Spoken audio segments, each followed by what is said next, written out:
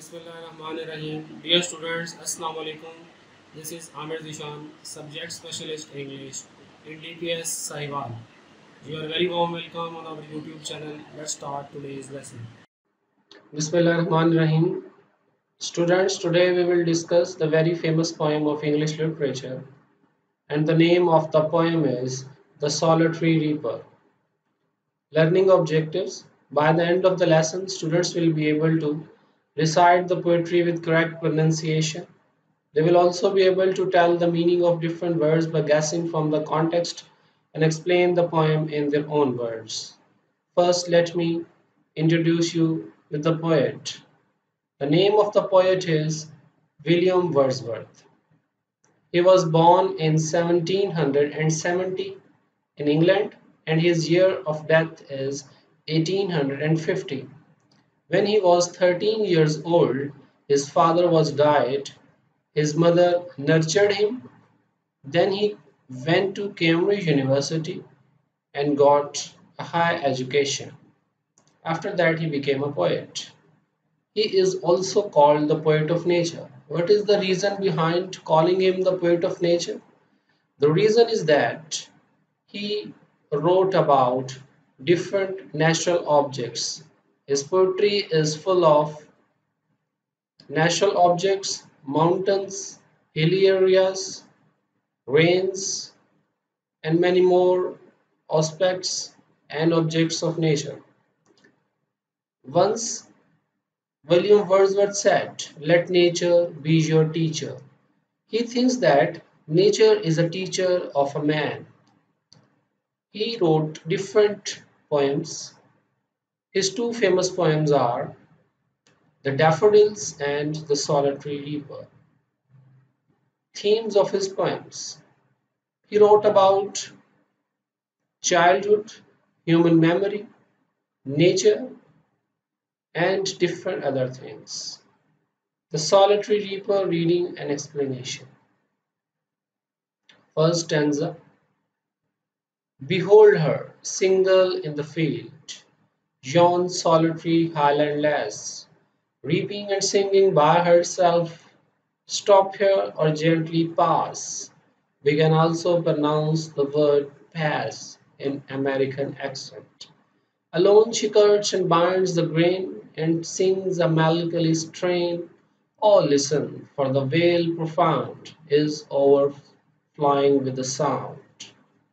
So now I will explain every line one by one. Stanza number one Behold her, single in the field, yon highland lass. Behold mean see, single mean alone. Yon is a ancient English word. It is old English word. It means that one. Solitary means alone.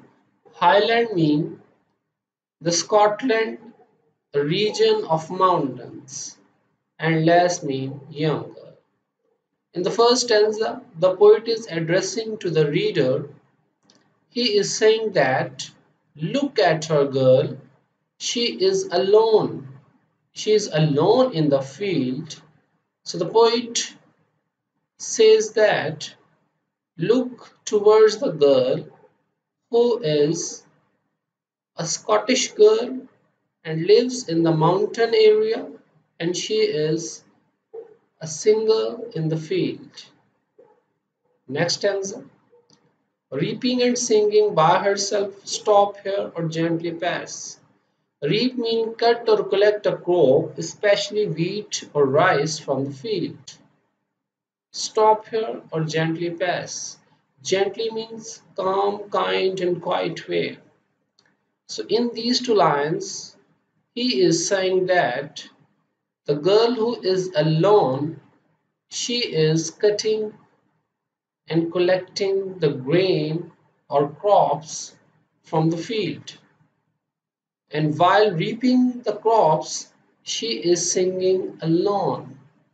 So, in next line, he addresses the reader again and says that you have two options either you have to stop here and listen the songs or song of the girl the next option is that You can quietly pass from there. Alone she cuts and binds the grain, and sings a melancholy strain. Alone mean solitary. Binds mean ties. Melancholy mean sad, and strain is a song. Or strain means song. Here the poet is telling us about the loneliness as well as the sadness of the solitary reaper. He is saying that she is cutting the grain alone and binding it alone. She is singing a very sad song. Next, oh listen, for the vale profound is overflowing with the sound. Oh listen. Here, oh is an addressing word. He is addressing to the reader again for the vale profound. Vale is valley. Profound mean deep. Is overflowing with the sound. Overflow mean flooded or spilled or filled with. So the poet is saying that he is saying to the reader, reader should listen the song of a solitary reaper because it is very sad in tone it is very emotional as well as it is very touching song. It touches to the heart and it also fills the valley or the whole valley is filled with the deep sound of the solitary reaper's song. Let's move towards the questions for you people. In the first stanza, you have read many lines, so now ready for question answer session. So you will tell who has written the solitary reaper. My next question is what is the solitary reaper doing in the field? And the third question is what is she doing while reaping the crop? And the last question is what type of song is the Highland girl singing? Now let me tell you the answer of the asked questions. The answer of first question is William Wordsworth has written The Solitary Reaper. The answer of second question is The Highland girl is reaping the crop in the field. The answer of third question is The Solitary Reaper is singing a song while reaping the crops. And the answer of last question is She is singing a sad song. Now move towards second step. No nightingale did ever chant more welcome notes to weary bands of travellers in some shady haunt among Arabian sands. A voice so thrilling never was heard in springtime from the cuckoo bird, breaking the silence of the seas among the farthest Hebrides. So, no nightingale did ever chant more welcome notes to a weary band. Chant mean to sing or shout the same words or phrases repeatedly. Notes mean songs and weary mean tired. Bands mean group of people. In these lines, the poet is comparing the sound of a nightingale with the solitary reaper.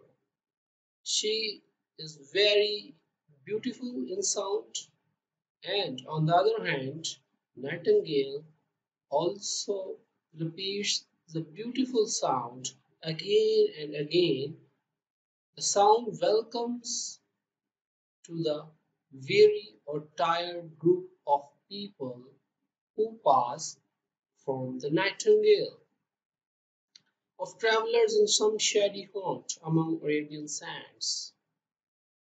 Band of travelers mean people who travel in a group called caravans. Haunt mean a place that somebody visits often, and some shady haunt among Arabian sands. So it refers to some oasis or a place that is a green area in the desert. and that is present in the Arabian desert, of travelers in some shady haunt among Arabian sands. So, the poet is comparing the song or the sound of the solitary reaper with the beautiful sound of nightingale who repeats her sound again and again and it mesmerizes or attracts the reader towards it. So, on the other hand, the solitary reaper is a very good in sound or her sound attracts the poet. But according to the poet, the sound of the solitary reaper is more beautiful than the sound of a nightingale. A voice so thrilling never was heard in springtime from the cuckoo bird. Now he talks about another bird who is cuckoo. Cuckoo bird is also famous for its beautiful sound. A voice was so thrilling never was heard in springtime from the cuckoo bird. In these lines, the poet is saying that the voice of the solitary reaper is so thrilling, it is so exciting, it is so amazing and surprising that there is no comparison of the sound of the solitary reaper with the sound of cuckoo bird. Cuckoo birds always mesmerize or attract with their beautiful sound in springtime. So in springtime, cuckoo birds convey a very beautiful sound and attract the people. On the other hand, nightingale is a bird that attracts the passengers or passers-by who pass from the Arabian sands or the oasis. But the solitary reaper has more beautiful sound than that of the cuckoo bird and the nightingale. Break silent sound of the seas. It creates the thrill in the environment and among the farthest Hebrides. Farther mean away. Hebrides is a island. As you know, it is an area of or island near Great Britain. So here the next stanza is end. Now I will ask you questions again. The first question is why does the poet compare the sweet song of girl with those of nightingale and cuckoo. Next question, what is meant by shady haunts? Next question, why do you think the nightingale song is described as welcome? And fourth, why do you think the cuckoo's bird is described, cuckoo's song is described as thrilling? Let me tell you the answer key. The poet wants to say the voice of the solitary reaper is more melodious and pleasing than that of a cuckoo or a nightingale. It is the answer of first question. Shady haunts refer to oasis. An oasis, an area, is the desert where there is water and where plants grow. The nightingale song is welcome as it tells travelers of shade and rest ahead. The cuckoo song is thrilling because it tells the winter season has ended and the spring season is setting in. Now, let's move towards next stanza. Will no one tell me what she sings? Perhaps the plaintive numbers flow. For old unhappy far off things and battles long ago. Or it's some more humble, lay, familiar matter of today. Some national sorrow, loss, or pain that has been and may be again. Will no one tell me she sings, what she sings? Perhaps the plaintive numbers flow for old unhappy far of things and battles long ago. So, perhaps mean maybe, plaintive mean sad, and far of things mean things or affairs of past. In these four lines, the poet is asking a question and he is very confused about the meanings of a song of the solitary reaper.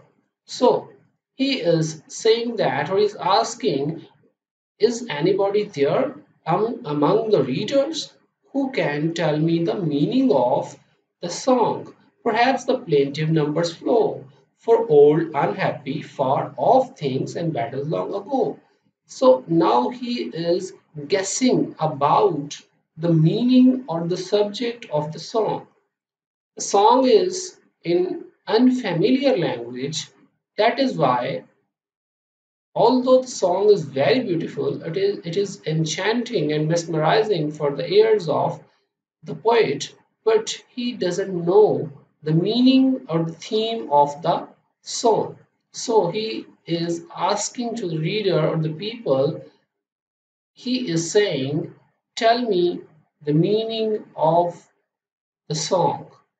Now she, he is guessing maybe the song is a plaintive number, maybe the, song, uh, the sound or the song is a sad song. Number means song for old, unhappy, far of things.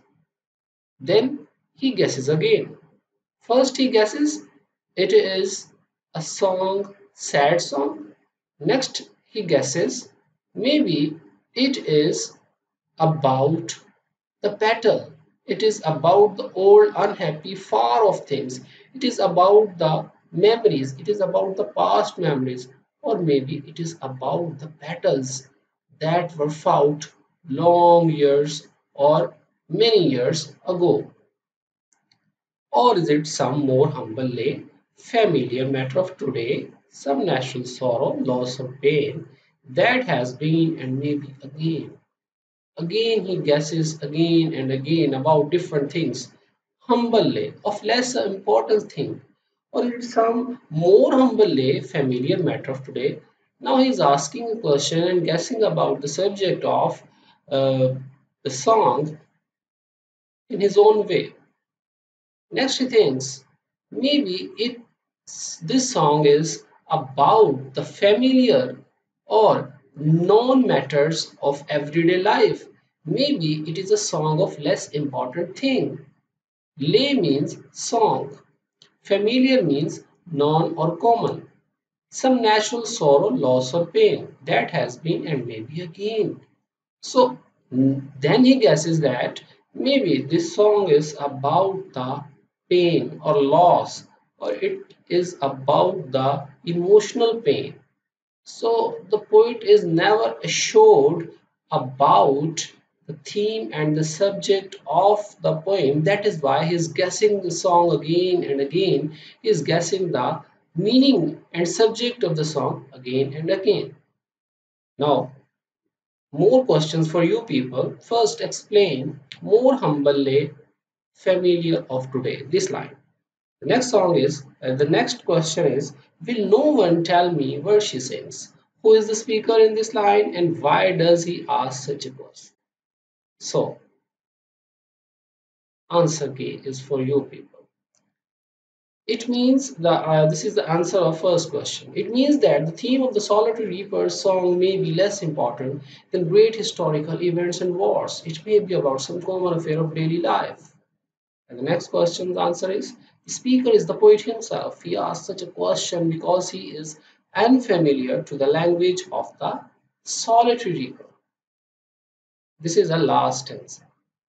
Whatever the theme, the maiden sang, as if her song could have no ending. I saw her singing at her work, and over the sickle bending, I listened motionless and still, and as I mounted up the hill, the music in my heart bore, long after it was heard no more. So in the fourth stanza, uh, now we will look towards the difficult words.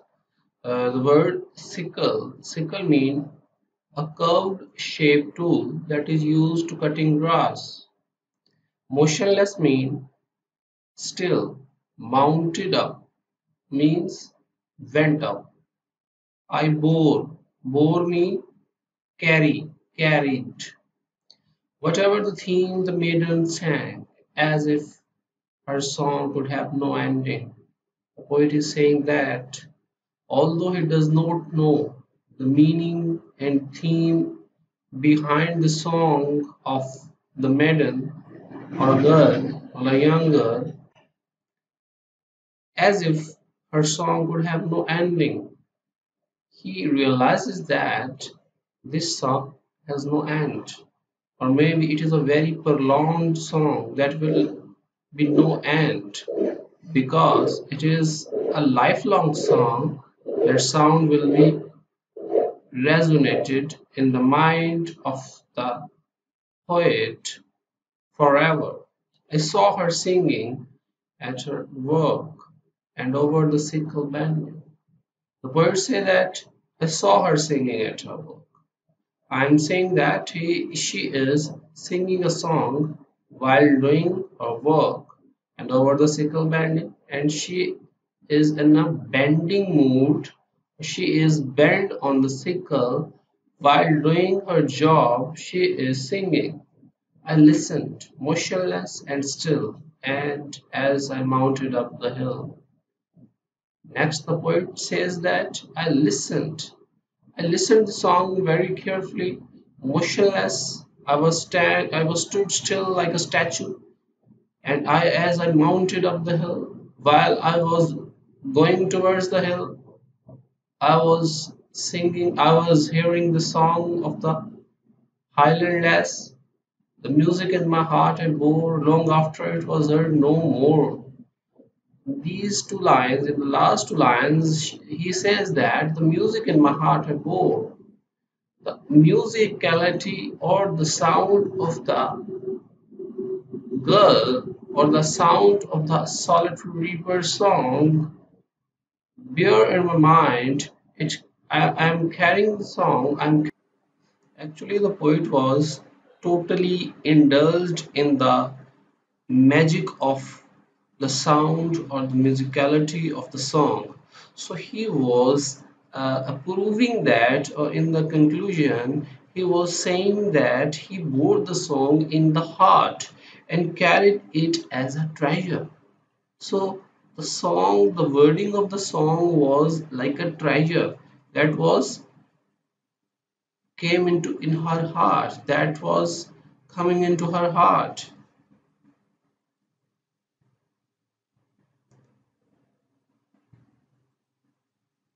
actually the poet was uh, totally engrossed or totally uh, you can say that uh, totally indulged in the beauty and the wording of the song that he approved that or that he accepted that the musicality of the song or the wording of the song remained in his heart for many years as a treasure. He bore the song in his heart like a treasure.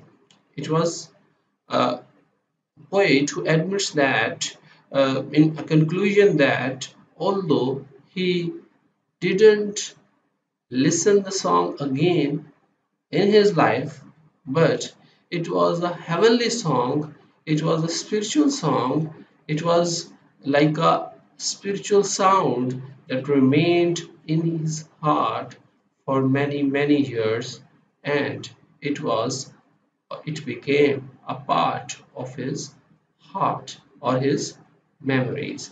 So next uh, you have a question students. Uh, how does the song affect the poet? Next question is what does the poet do as he climbs up the hill? So ready for answers.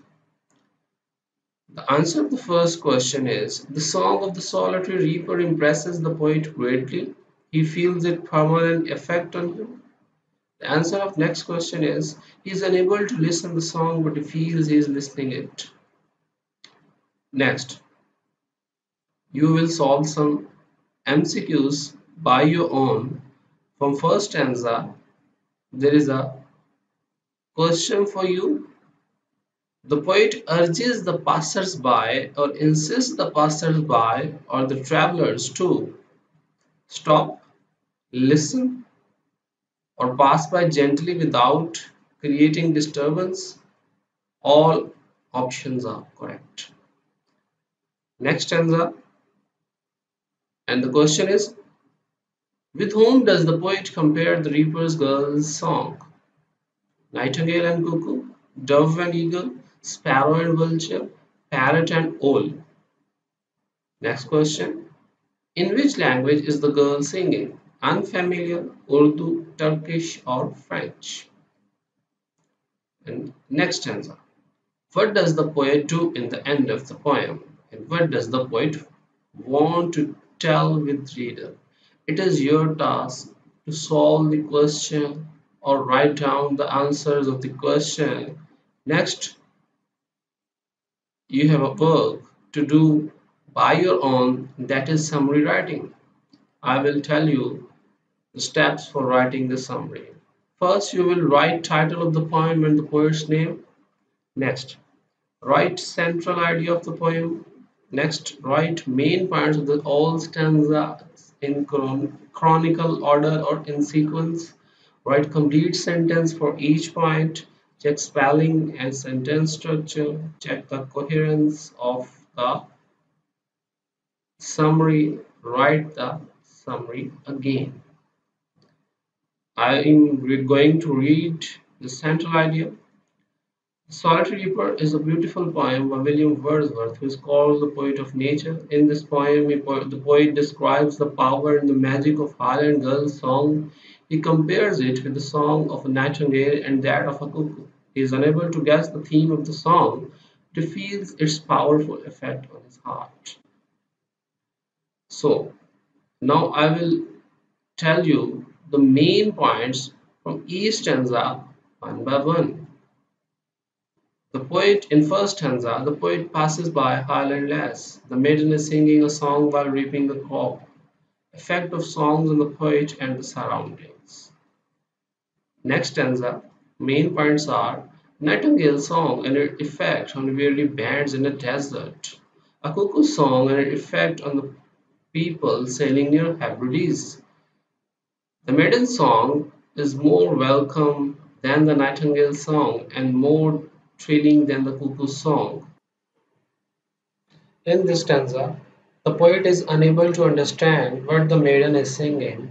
The poet thinks about the theme of the song and tells about different possible themes. The poet leaves the valley. He is unable to listen the song, but he feels the effect of the song on his heart. So you have a homework, follow the above instructions and write a summary. Stay home, stay safe. Thank you. Have a good day ahead.